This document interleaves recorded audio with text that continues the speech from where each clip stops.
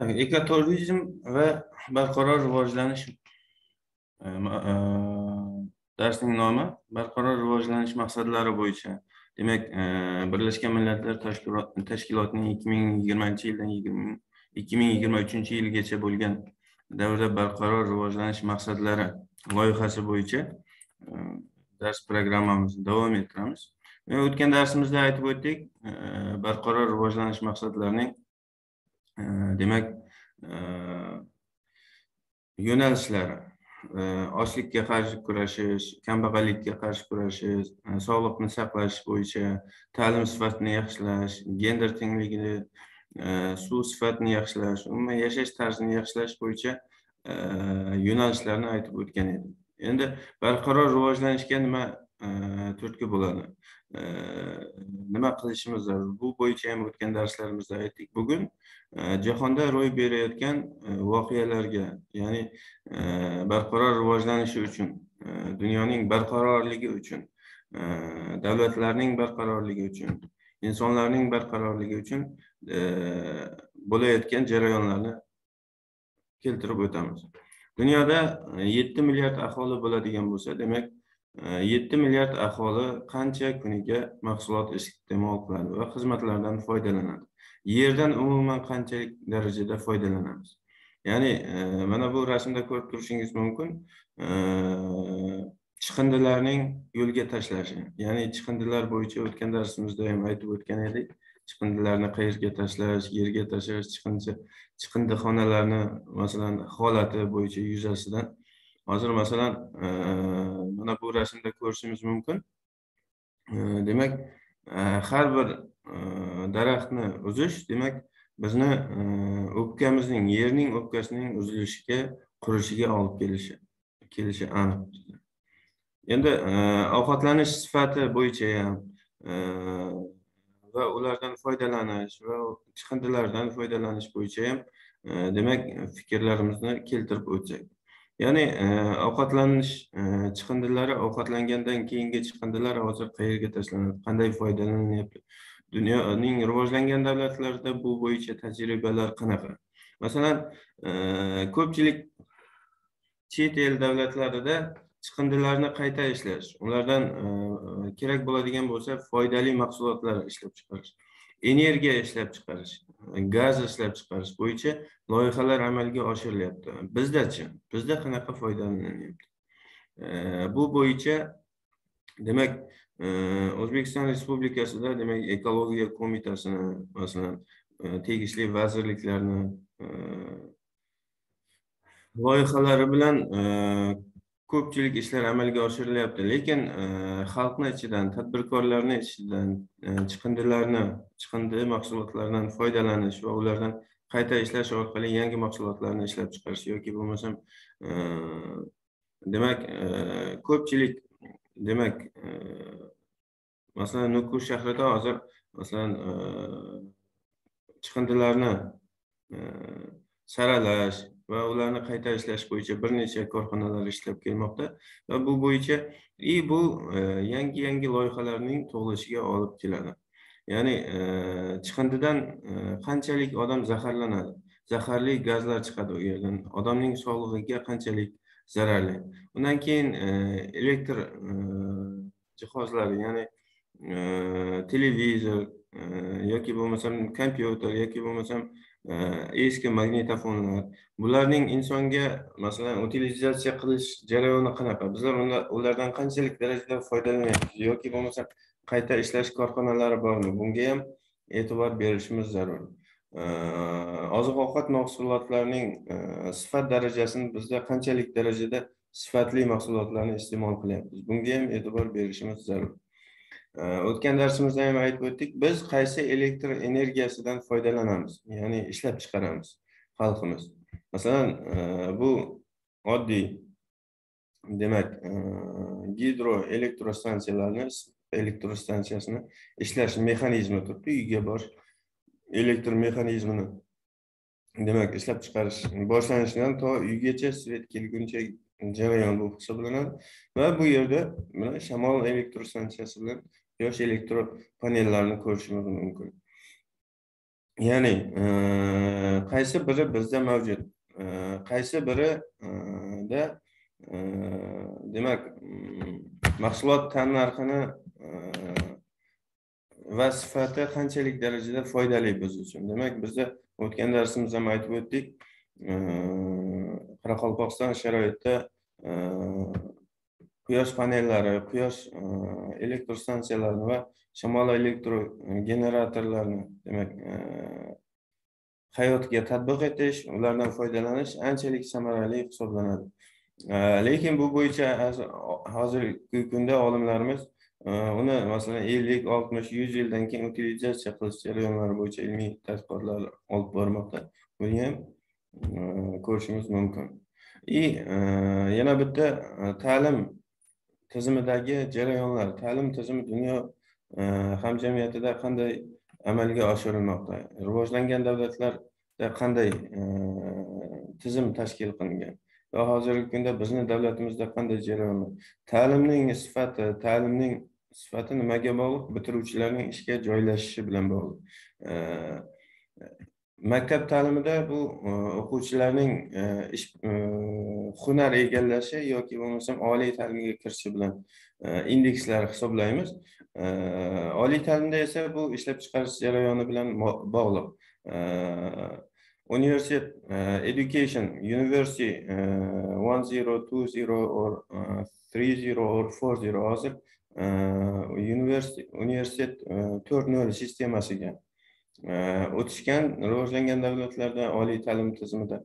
Bizda ham bu jarayonga o'tish uchun albatta e, amalga ishlar amalga oshirilmoqda. Xorijiy hamkorlar bilan yoki bo'lmasam dunyoning yetakchi olimlari bilan e, undan keyin e, ilmiy tadqiqot muassasalari bilan akademiyalar bilan ishlar amalga oshirilmoqda. Buning uchun albatta hozir sifrovizatsiya tizimi e, amalga oshirilmoqda. Biz e, masalan eski universitet bir nol ikki nol sistemasida ko'pchilik ta'lim muassasalarining sistemasi qolib ketgan yaqindagina kechagina prezidentni demak vazirlar mahkamasini qarori bilan e, o'ttiz beshta oliy ta'lim muassasasi o'zini o'zi boshqarish moliyaviy mustaqillik berish bo'yicha demak э, qarorlar e'lon qilindi. Bu bo'yicha bu э, universitet to'rt nol tizimiga o'tishning birinchi qadami hisoblanadi.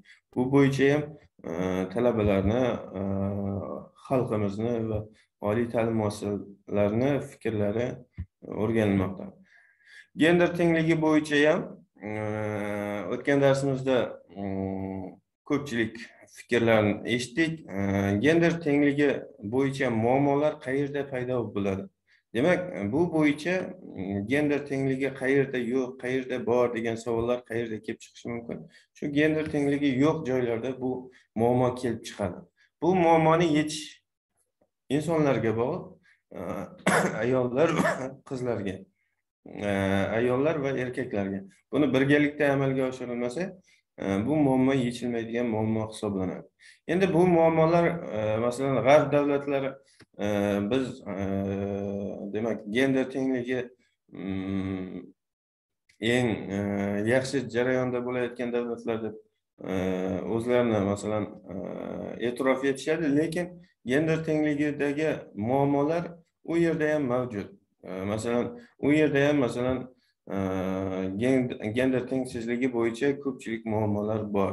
Mm, так э, bundan tashqari demokratiya. Demokratiya qaysi davlatda yo'q deymiz. Endi demokratiyani asosiy e, jihatiga kelib o'tadigan bo'lsak demak insonlarning huquqlari saylash huquqi deymiz e, iqtisodiyotda e, jamiyatdagi o'rnini belgilaydigan jihatlari hisoblanadi va din erkinligi partiya erkinligi yoki bo'lmasam saylov erkinligi va boshqa va hokazo jarayonlarda ko'rinadi. Bu bo'yicha endi demokratiya masalan dunyoda birinchi eng gegemon davlatlardan amerika demokratiyani o'chog'i deb o'zlarini e'tirof etishadi. Lekin masalan yevropa davlatlari ham bunga masalan e, raqobat qilishadi bizda demokratiya bor bizda demokratiya biz dunyoni rivojlantirishga e'tibor beryapmiz. E, kabi savollarni beradi. Endi men sizlarga e, bir necha jarayonlarni ko'rsatib o'tsam. Yaqin va o'rta sharq avval masalan ikki mingchi yildan oldingi holati. Dunyoning eng go'zal siriya iroq livan masalanda ko'rishimiz mumkin yemen davlatlarni ko'rishimiz mumkin va bu davlatlar dunyoning jannat joylari edi. Ikki mingchi yillardan oldinda urushlar boshlanib amerikaning siyosati yevropaning siyosati birlashgan millatlar tashkilotining siyosati u yerda demokratiya yo'q u yerda boshqaruv tizimida yakka hukmronlikka e'tibor berilgan va hokazo jarayonlarda demak e, boshqa davlatning aralashuvining o'zi demokratiyaga qarshi siyosat bo'lgan o'sha paytda. Masalan hozir qanchalik ayanchli ahvolda masalan yevropa davlatlari e, fransiya angliya e, gollandiya niderlandiya masalan ispaniya. Bizlar demokratiyaning eng umuman olganda eng rivojlangan regionimiz deb hisoblanishadi. Lekin afrika davlatlari qanday yashayapti? Hindiston davlati masalan xalqi qanday yashayapti? Agar masalan yuz yillab ikki yuz yillab u yerda hukmron bo'ldi demokratiyani u yerga olib borgan bo'lsa hozir nima uchun achinarli ahvolda? Masalan afrika davlatlari e, hindiston va atrofidagi orollar e, qanchalik darajada u yerga demokratiyani yetkazgan qanchalik darajada u yerga rivojlanishni mm, demak e, prinsiplarni u yerga u yerda amalga oshirilgan degan savol e, bizni juda qiynaydi masalan hozir yaqin sharqda masalan e, afg'oniston bor bu yerda masalan. E, masalan o'ttiz yil qirq yil oldin qanday davlat edi? Yoki bo'lmasam keyingi masalan amerikaning yevropa davlatlarining aralashuvi bilan qanday ahvolga kelib tushganini ko'rishimiz mumkin. Buni albatta dunyodagi rivojlangan davlatlarda masalan hozir birlashgan millatlar tashkilotlarida ham masalan boshqa tashkilotlarda ham amerikaning aralashuvining muammo ekanligini muammosining ko'payayotganligini masalan demokratiyaning masalan prinsiplari hattoki amerikada ham yo'qolib borayotganligini e'tirof etishmoqda yevropa davlatlari ham shunaqa masalan nima uchun afrika davlatlari Э, demak э, iqtisodiy jihatdan past sababi э, u yerda masalan e, oldin e, belgiya qirolligi niderlandiya qirolligi yoki bo'lmasam italiya e, undan keyin fransiya davlati masalan hukmron bo'lgan koloniyasi bo'lgan. Nima uchun? Ularda masalan Э, hozir rivojlanish taraqqiyot darajasiga yetisha olmayapti ko'pchilik davlatlar. Endi e, bu buning ichida bundan mustasno e, marokash yoki bo'lmasam e, janubiy afrika davlatlari rivojlanish tendensiyasi anchalik yuqori. Buning sababi albatta afrika qit'asidagi portlarga ega bo'lishi ya'ni dengiz yo'lidagi demak eng demak yaxshi portlarga ega bo'lishi bilan ta'riflanadi. Hamda mm, shu oldinlari masalan boshqa davlatlardan ko'chib kelgan migrantlarning ko'pi ko'pchiligi ko'pchilikni tashkil qilishi bilan e, izohlanadi deyishimiz mumkin. Endi xo'sh e, sizlarga savol. Bu yerda o'zbekistonda masalan chiqindilarga e, qarshi chiqindilarni tashlashga qarshi kurashish bo'yicha qanday ishlar amalga oshirilyapti bunga xalq qanday qaraydi? Sizlarga savol.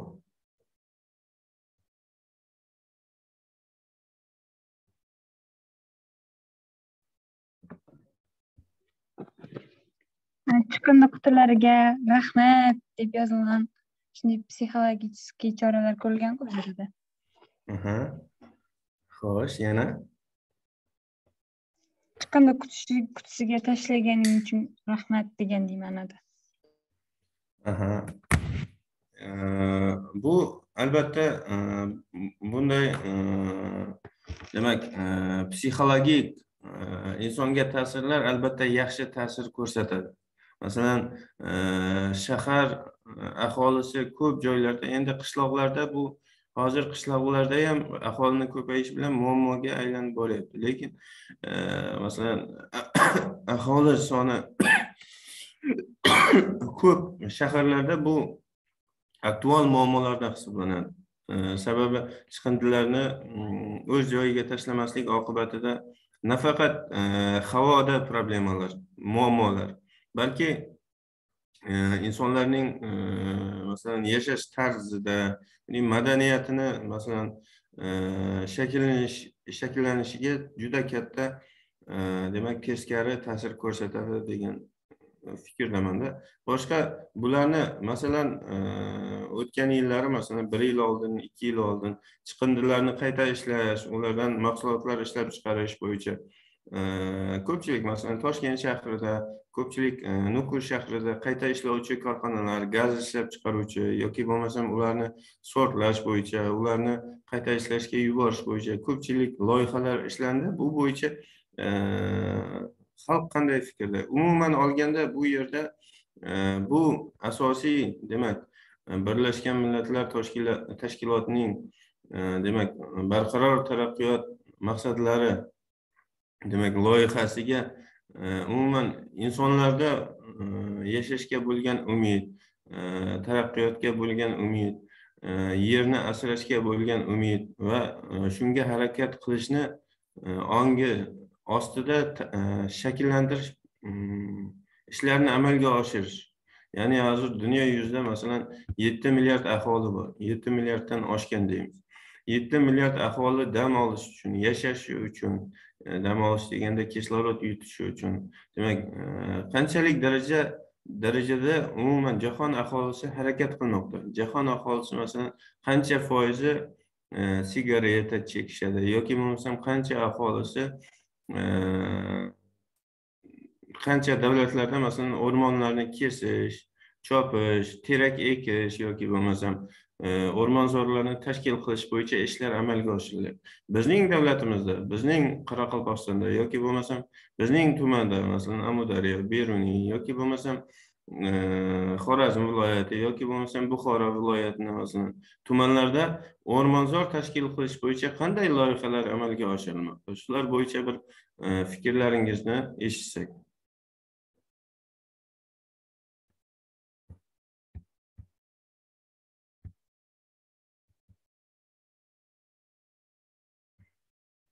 Sayyora daraxtlarni ro'yxatga olish amalga oshirilyaptiku.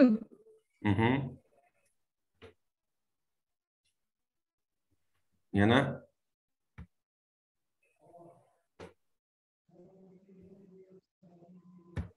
Hozir beylikqal'a tumanida uzumzorlarni tashkil qilish qonun bilan belgilab qo'yilmoqda. Har bir tomorqada uzumzor tutzor bo'lishi shart mhm. deb bu bo'yicha masalan mm, e, endi o'zbekiston aholisi tasavvur qiling o'ttiz besh million o'ttiz olti million deymizda endi shuni ichida kecha e, yaqindagina vazirni bayonotida oliy ta'lim vazirining bayonotida e, talabalar soni hattoki bir milliondan oshganda bir million ko'z oldingizga keltiring o'ttiz besh million o'ttiz beshdan biri talabada. Demak e, bir millionga yaqin yetti yuz ming sakkiz yuz ming. Bu e, katta ko'rsatkich. Talabalar e, masalan talabalarning o'rni bunda beqiyos bo'lishi kerak. Sababi eng aktivist eng haligi jamiyatdagi o'rnini belgilash uchun E, tirishayotgan yoshlar demak e, keyinchalik jamiyatda o'rnini topish uchun baribir aktivist bo'lish uchun demak e, jamiyatda o'z o'rnini topishga harakat qilishda demak ekologiyani asrashda o'rmonzorlarni asrashda yaxshi ishtirokini ta'minlash uchun masalan prezident tashabbusi bilan toshkentdagi masalan qumli bo'ron oqibatidagi voqealarda terakzorlarni ekilish jarayoniga E, munosabat bildirildi. Ya'ni har yil sayin qanchalik nihol ekyapmiz va uning o'sish darajasi uni o'zini olib ketish darajasi keyingi yilda o'sish jarayoni e, qanchalik achinarli ahvolda ekanligini aytib o'tdi. Va bu bo'yicha masalan e, nihol ekishni ham madaniyatni o'ziga xos tashkil qilish u yerda ismlarni shakllantirish bo'yicha kimning ekkan teragi masalan agar qishloqlarga borsak eski qishloqlarga boradigan bo'lsak bir yuz ellik yil ikki yuz yillik gujum teraklari yoki bo'lmasam chinor teraklari yoki bo'lmasam masalan meva teraklari bo'lishi mumkin olmalar masalan bir yuz ellik yilgacha yashaydi bir yuz ellik ikki yuz uch yuz yilgacha yashaydi shunday masalan qadamjolarni masalan ta'rifini yetkazish yoki bo'lmasam video roliklarni tashkil qilish bo'yicha ishlar amalga oshirilyapti. Lekin xalq buni qanday qabul qilyapti?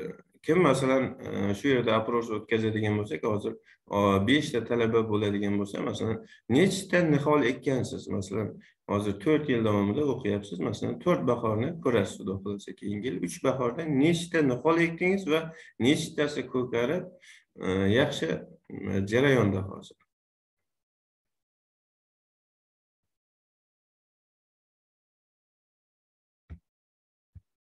Savol tushunarlimi